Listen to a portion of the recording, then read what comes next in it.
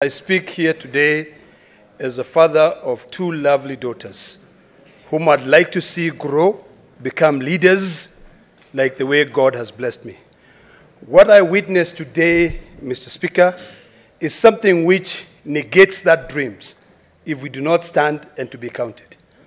What I've witnessed today, Mr. Speaker, is this Senate being reduced into being an internal audit.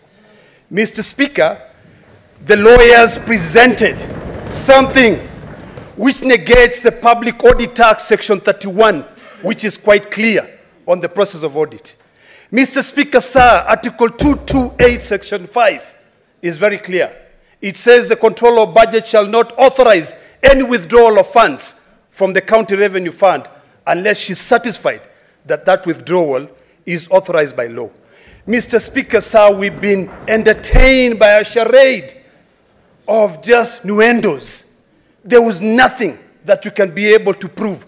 I am a member, I'm a ranking member of the Senate Public Accounts Committee, and I know the process. I know what IFMIS is. I know the PFM Act, Section 153, 103, establishes a county, uh, county treasury, and he puts in the treasurer or the CMC as the head of that fund. Mr. Speaker, sir, I sat down here, and to be honest with you, when I, when I watched those videos, something came to my mind. And I said, you know what? That conference of 1885 in Berlin conference was ill advised. The British should, just should have just left us with our uncouth and civilized behaviors.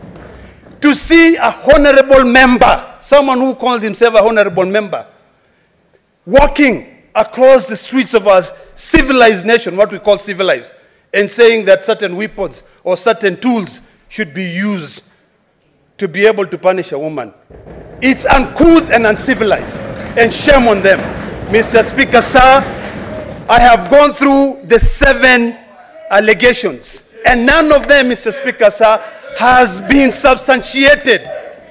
We are being, we are being introduced, we are being invited, Mr. Speaker, sir, to get into a conflict of manhood and womanhood.